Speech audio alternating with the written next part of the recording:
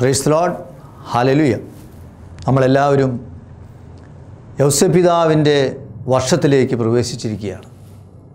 മാറിയൗസേപ്പിന്റെ പ്രത്യേക മധ്യസ്ഥതയാൽ ധാരാളമായിട്ട് അനുഗ്രഹങ്ങൾ സ്വീകരിക്കാൻ സാധിക്കുന്ന ഒരു വർഷമാണിത്. അതിന് യൗസപിതാവിലൂടെ ദൈവം നൽകിയിട്ടുള്ള നല്ല മാതൃകളെ സ്വീകരിച്ചുകൊണ്ട് ജീവിച്ചുകൊണ്ട് ദൈവത്തെ മഹത്വപ്പെടുത്തുവാൻ നമ്മൾക്ക് സാധിക്കട്ടെ. അതിൽ ഔസപിതാവിന്റെ മാതൃകയിൽ ഒരുപക്ഷെ ഏറ്റവും പ്രധാനപ്പെട്ടത് എന്ന് എനിക്ക് തോന്നുന്നത് യൗസപിതാവിന്റെ ഉറക്കമാണ്. സ്വപ്നം കണ്ട് ഉറങ്ങിക്കൊണ്ട് ദൈവത്തിന്റെ സ്വരം ശ്രവിച്ച ഔസപിതാവിന്റെ മാതൃക നമ്മൾക്ക് സ്വീകരിക്കാനായിട്ട് സാധിക്കണം. മനുഷ്യജീവിതം എന്ന് പറയുന്നത് മുഴുവനും ഒരർത്ഥത്തിൽ സഹനമാണ്. പക്ഷേ അത് യഥാർത്ഥത്തിൽ സഹനമല്ല എന്നുകൂടി നമ്മൾ ഓർക്കണം. അതിന്റെ ഏറ്റവും നല്ല ഉദാഹരണം ഒരു കുഞ്ഞ് അമ്മയുടെ ഉദരത്തിൽ നിന്ന് പുറത്തു വരുമ്പോൾ ആ കുഞ്ഞ് കരഞ്ഞില്ല എങ്കിൽ എല്ലാവരും ദുഃഖിക്കും. കാരണം ആ കരച്ചിലാണ് ജീവന്റെ തുടക്കം. പക്ഷേ അതിനെ കരച്ചിലായിട്ടാണ് ലോകം മുദ്ര കുത്തുന്നത്.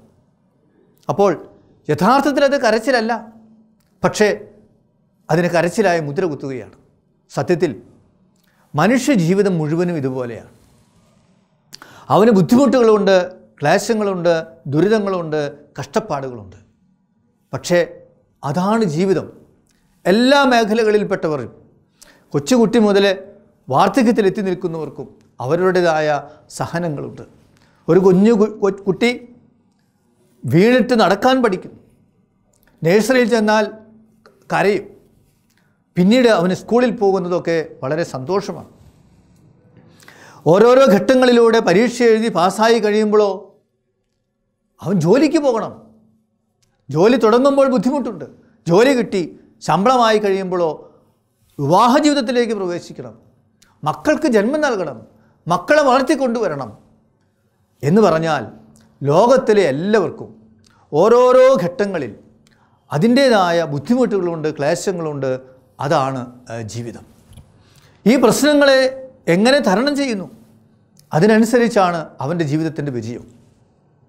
മനുഷ്യജീവിതത്തെ ഇങ്ങനെ നമ്മൾ സ്വാഭാവികമായിട്ട് കാണുന്നതോടൊപ്പം തന്നെ കുറച്ചും കൂടി ആഴമായി ആധ്യാത്മികമായിട്ട് ചിന്തിക്കുമ്പോൾ പൈശാചികമായ പ്രശ്നങ്ങളും പീഡനങ്ങളും അവന്റെ ജീവിതത്തിലുണ്ടാകും ഏറ്റവും നല്ല ഉദാഹരണം ജോബിന്റേതാണ് വിശുദ്ധനായ ജോബ് പക്ഷേ ദൈവം ജോബിനെ പിശാചിനാൽ പരീക്ഷിക്കാനായിട്ട് വിട്ടുകൊടുത്തപ്പോൾ ജോബിന്റെ സമ്പത്തും മക്കളും എല്ലാം നഷ്ടമായി. ദേഹം മുഴുവനും വ്രണം ബാധിച്ചു. അതെ വലിയ പ്രശ്നത്തിലൂടെ ജോബ് കടന്നു പോവുകയായിരുന്നു. എന്ന് പറഞ്ഞാൽ പൈശാചികമായ പ്രവർത്തനത്താൽ ദൈവം അനുവദിക്കുന്നത് വഴി നമ്മൾക്ക് ക്ലേശങ്ങളുണ്ടാകും ദുരിതങ്ങളുണ്ടാകും കഷ്ടപ്പാടുകളുണ്ടാകും. അതും മനുഷ്യജീവിതത്തിന്റെ ഭാഗമാണ്. അതുപോലെ തന്നെ ദൈവത്താൽ തിരഞ്ഞെടുക്കപ്പെട്ട ഏതൊരു വ്യക്തിയും ദുരിതങ്ങളിലൂടെ കഷ്ടപ്പാടുകളിലൂടെ ലോകത്തിന്റെ ഭാഷയിൽ ദുരിതങ്ങളിലൂടെ കഷ്ടപ്പാടുകളിലൂടെ സഹനങ്ങളിലൂടെ കടന്നുപോയേ മതിയാകും. അത് ദൈവത്തിന്റെ പദ്ധതിയാണ്. ഓർക്കുക അബ്രാഹത്തെ ദൈവം വിളിച്ചത് എഴുപത്തി അഞ്ചാം വർഷത്തിലാണ്. പിന്നീട് ഇരുപത്തഞ്ച് വർഷം ഒരു കുഞ്ഞിന് വേണ്ടി ദൈവത്തിന്റെ വാഗ്ദാനത്തിന്റെ പൂർത്തീകരണത്തിന് വേണ്ടി കാത്തിരിക്കേണ്ടതായിട്ട് വന്നു. ദൈവം അബ്രാഹത്തെ പരിശീലിപ്പിക്കുകയായിരുന്നു. ഇസ്രായേൽ ജനത്തെ ദൈവം മരുഭൂമിയിലൂടെയല്ലേ കൊണ്ടുപോയത്? ദൈവം അവരെ പരിശീലിപ്പിക്കുകയായിരുന്നു. പരിശുദ്ധി അമ്മയുടെ ജീവിതം അതെ അത് മുഴുവനും സഹനമായിരുന്നു. യൗസപിതാവിന്റെ ജീവിതത്തിലും നമ്മൾ പ്രത്യേകമായിട്ട് ഇതാ ഒരു വലിയൊരു മാനസികമായ പ്രശ്നത്തിലേക്ക് ആധ്യാത്മികമായ പ്രശ്നത്തിലേക്ക് യൗസപിതാവ് എത്തി നിൽക്കുകയാണ്. പരിശുദ്ധ അമ്മയുമായി വിവാഹ വിവാഹസമ്മതം നൽകിയതിന് ശേഷം മാതാവ് പരിശുദ്ധാരൂപിയുടെ പ്രവർത്തനത്താൽ ഗർഭിണിയായതിനു ശേഷം യൗസപിതാവിനോട് പോലും ഇക്കാര്യം പറയാതെ എലിശ ഗർഭിണിയാണ് ഇളയമയായ എലിശമ വാർദ്ധക്യത്തിൽ ഗർഭിണിയാണെന്ന് അറിഞ്ഞപ്പോൾ അമ്മയുടെ അടുക്കിലേക്ക് പോവുകയാണ്. തിരിച്ച് മൂന്ന് മാസം കഴിഞ്ഞ് തിരിച്ചു വരുമ്പോൾ ഔസപിതാവ് മനസ്സിലാക്കുന്നു താൻ വിവാഹസമ്മതം നൽകിയ മറിയം ഇതാ അവൾ ഗർഭിണിയാണ്. എങ്ങനെയാ മറിയത്തോട് ചോദിക്കും? ഔസപിതാവ് അസ്വസ്ഥനായിരുന്നു. അവൾ ഒരിക്കലും തന്നെ വഞ്ചിക്കുകയില്ലെന്ന് ഉറപ്പുണ്ട്. പിന്നെ എങ്ങനെ ഇത് സംഭവിച്ചു? ഇനി അഥവാ എന്തെങ്കിലും സംഭവിച്ചെങ്കിൽ തന്നെ ഇത്രയും വിശുദ്ധിയും ഇത്രയും എളിമയും പ്രാർത്ഥനാ ചൈതന്യവുമുള്ള ഞാൻ വിവാഹ വാഗ്ദാനം ചെയ്യപ്പെട്ട കന്യകയായ മറിയം തീർച്ചയായും അതെന്നോട് പറയും. അവൾ പറയുന്നുമില്ല. ഔസപിതാവിന് ഉറക്കമില്ലാത്ത രാത്രികളായിരുന്നു അത്. അവസാനം യൗസപിതാവ് തീരുമാനിച്ചു. രഹസ്യത്തിൽ മറിയത്തെ ഉപേക്ഷിക്കാമെന്ന്. ആ ഒരു തീരുമാനത്തിലേക്ക് വരുന്നതിന് മുമ്പുണ്ടായ സംഘർഷങ്ങൾ. ഔസപിതാവിന് വേണമെങ്കിൽ നീതിമാനായതുകൊണ്ട് വചനം പറയുന്നത് അങ്ങനെയാണല്ലോ. യഹൂദ നിയമത്തിനനുസരിച്ച് മറിയം വ്യഭിചാരം ചെയ്തു എന്ന മുദ്ര കുത്തിക്കൊണ്ട് യഹൂദ നിയമങ്ങളുടെ പൂർത്തീകരണത്തിനനുസൃതമായി അത് ദൈവഹിതമാണ് എന്ന് പറഞ്ഞുകൊണ്ട് മറിയത്തെ കല്ലെറിയപ്പെടുവാനായിട്ട് വിട്ടുകൊടുക്കാനായിട്ട് പറ്റുമായിരുന്നു. അതെ അവിടെയും യൗസഫ് പിതാവ് നീതിമാനാകുമായിരുന്നു. അല്ലെങ്കിൽ ഞാൻ വിവാഹം കഴിച്ചിട്ടില്ല വിവാഹസമ്മതം കൊടുത്തിട്ടുള്ളൂ എന്ന് പറഞ്ഞുകൊണ്ട് യൗസഫ് പിതാവിന് പരസ്യമായി അത് പ്രഖ്യാപിച്ചുകൊണ്ട് മറിയത്തെ വിട്ടുകൊടുക്കാനായിട്ട് സാധിക്കുമായിരുന്നു. പക്ഷേ അതും യൗസഫ് പിതാവ് ചെയ്തില്ല. പക്ഷെ ഇവിടെയൊക്കെ വലിയൊരു ആത്മീയമായ സംഘർഷമുണ്ട്. ഇത്രയും വിശുദ്ധിയിൽ നിറഞ്ഞു നിൽക്കുന്ന ഇത്രയും എളിമയിൽ നിറഞ്ഞു നിൽക്കുന്ന മറിയം എങ്ങനെ തന്നെ വഞ്ചിക്കും? യൗസഫ് പിതാവിന് അത് വിശ്വസിക്കാനായിട്ട് സാധിക്കുന്നില്ല. അതോടൊപ്പം രക്ഷകന്റെ വരവിനുള്ളതായ സമയമായി എന്ന് യഹൂദർ വിശ്വസിച്ചിരുന്നു. ഔസപിതാവ് വിശ്വസിച്ചു. കന്യകയിൽ നിന്ന് രക്ഷകൻ ജനിക്കും. ഒരുപക്ഷേ തന്റെ വിവാഹസമ്മതം നൽകപ്പെട്ട ഭാര്യയാകാനുള്ള മറിയം പരിശുദ്ധാരൂപിയാൽ ഗർഭം ധരിച്ച് രക്ഷകൻ അവളിലൂടെ ജനിക്കുവാൻ പോവുകയാണോ? ഔസപിതാവിൽ ആകെ അസ്വസ്ഥതയായിരുന്നു. ഉറക്കമില്ലാത്ത രാത്രികളായിരുന്നു. പക്ഷേ അവസാനം ഔസപിതാവ് തീരുമാനിച്ചു. ഞാൻ അവളെ രഹസ്യത്തിൽ ഉപേക്ഷിക്കും. എങ്ങനെയാണ് ഈ രഹസ്യത്തിൽ ഉപേക്ഷിക്കുക എന്ന് പറഞ്ഞാൽ? അതിന്റെ അർത്ഥം അവൾ അറിയാതെ ആരോടും പറയാതെ ഞാൻ സ്വയം സ്ഥലം വിടുക. ഞാൻ സ്വയം സ്ഥലം വിടുകയാണെങ്കിൽ തീർച്ചയായും എന്നെ കുറ്റപ്പെടുത്തും. അവളെ ഗർഭിണിയാക്കിക്കൊണ്ട് അവൻ നാട് കളഞ്ഞു എന്ന് പറയും. സാരമില്ല. എന്റെ പേര് പോയാലും ഞാൻ ദുഷ്ടനായി തീർന്നാലും അവളെ സംബന്ധിച്ച് പറയുമ്പോഴോ അവൾ സുരക്ഷിതയായിരിക്കും.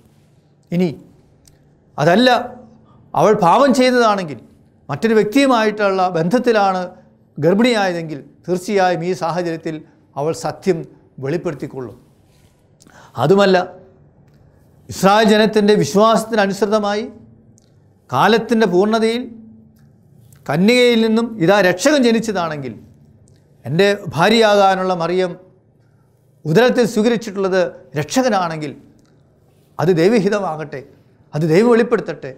അങ്ങനെ ഉറച്ച തീരുമാനത്തോടുകൂടി പുലർകാലെ എഴുന്നേറ്റ് പോകുന്നതിന് വേണ്ടി ഔസപിതാവ് ഉറങ്ങാൻ തീരുമാനിച്ചു. നല്ലപോലെ ഉറങ്ങി.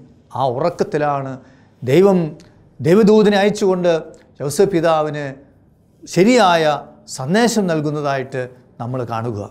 അതെ നമ്മുടെയും ജീവിതത്തിലെ ഒരുപാട് പ്രശ്നങ്ങളുണ്ടാകുമ്പോൾ അത് വിവാഹത്തെക്കുറിച്ചാകാം കുടുംബ പ്രശ്നങ്ങളാകാം സാമ്പത്തിക ക്ലേശങ്ങളാകാം ഇതോ എന്തുമായിക്കൊള്ളട്ടെ? അവിടെയൊക്കെ ഔസേ പിതാവിനെ പോലെ എനിക്ക് ദുഷ്പേരുണ്ടായാലും എനിക്ക് നഷ്ടം സംഭവിച്ചാലും സാരമില്ല. മറ്റുള്ളവർക്ക് പ്രശ്നമുണ്ടാകരുത്. സമൂഹത്തിൽ പ്രശ്നമുണ്ടാകരുത്. ദൈവത്തിന്റെ ഹിതത്തിനായിട്ട് എന്നെ തന്നെ വിട്ടുകൊടുക്കണം. എന്ന ഉറച്ച തീരുമാനത്തോടുകൂടി നമ്മൾ ഉറങ്ങാൻ തയ്യാറാകുമ്പോൾ ദൈവം തീർച്ചയായിട്ടും ഇടപെടും എന്നുള്ളതാണ്. പ്രശ്നങ്ങളുടെ നടുവിൽ ഉറങ്ങുന്നതിന് വേണ്ടി മദ്യപാനത്തിലും മയക്കുമരുന്നിലും മുഴുകുന്നവരുണ്ട്. അതിലേക്ക് പോകാതെ എന്റെ ഭാഗത്തു നിന്നുള്ള തെറ്റുകളാണ് എന്നെ അസ്വസ്ഥപ്പെടുത്തുന്നതെങ്കിൽ എന്റെ ഭാവങ്ങളെ ഓർത്ത് എന്റെ തെറ്റുകളെ ഓർത്ത് ഞാൻ പശ്ചാത്തപിക്കുക മാനസാന്തരപ്പെടുവാൻ പുതിയ ജീവിതത്തിനായിട്ട് തയ്യാറാകുവാനുള്ള ഉറച്ച തീരുമാനമെടുക്കുക ഉറങ്ങുക. അതെ ദൈവം ഇറങ്ങി വരും ആ ഉറക്കത്തിലേക്ക്. അതുകൊണ്ട് സഹോദരങ്ങളെ നമ്മുടെ എല്ലാവരുടെയും ജീവിതത്തിൽ ചെറുതും വലുതുമായ പ്രശ്നങ്ങളും ബുദ്ധിമുട്ടുകളും ക്ലേശങ്ങളും ഉണ്ടാകുമ്പോൾ എളിമപ്പെട്ടുകൊണ്ട് എളിമയോടുകൂടി നമ്മുടെ പാപങ്ങളെക്കുറിച്ച് പശ്ചാത്തപിച്ചുകൊണ്ട് ദൈവഹിതത്തിനായിട്ട് നമ്മളെ തന്നെ വിട്ടുകൊടുത്തുകൊണ്ട് ഉറങ്ങാൻ തയ്യാറാകുക. അതിലൂടെ ദൈവം ഇറ- ഇറങ്ങി വരുമെന്നുള്ളത് ഉറപ്പാണ്. ഈ അടുത്ത കാലത്ത് നമ്മുടെ ഇടയിൽ പ്രചരിക്കുന്ന ഔസപിതാവിനോടുള്ള ഒരു ഭക്തിയാണല്ലോ ഉറങ്ങുന്ന യൗസപിതാവിന്റെ ആ പടവും രൂപവും ഒക്കെ എല്ലാവരുടെയും കൈകളിൽ അത് ഉണ്ടായിരിക്കട്ടെ. കാരണം എല്ലാവരും ഓരോരോരോ പ്രശ്നങ്ങളിലൂടെയാണ് കടന്നു പോകുന്നത്. അവിടെ ഔസപിതാവിനെ പോലെ ഉറങ്ങാനായിട്ട് സാധിക്കട്ടെ. ദൈവം തീർച്ചയായും നമ്മുടെ ജീവിതത്തിലേക്ക് ഇറങ്ങി വരും. മറിയോസെ പിതാവിന്റെ വർഷം നമ്മൾ ആഘോഷിക്കുമ്പോൾ മറിയോസെ പിതാവിൽ വിളങ്ങി നിൽക്കുന്ന മറ്റ് സുഹൃത്തുക്കളോടൊപ്പം തന്നെ അല്ല ഒരുപക്ഷെ അതിനേക്കാൾ കൂടുതലായി ഈ ഒരു സുഹൃതത്തെ ഈ ഒരു നല്ല മാതൃകയെ സ്വീകരിച്ചുകൊണ്ട് ദൈവഹിതത്തെ സ്വീകരിക്കുവാനായിട്ട് നമ്മൾക്ക് സാധിക്കട്ടെ. ഈ ഒരു വലിയ കൃപയ്ക്ക് വേണ്ടി മാറിയോസ് പിതാവിന്റെ മാധ്യസ്ഥം നമ്മൾക്ക് യാചിക്കുകയും ചെയ്യാം. ആമേ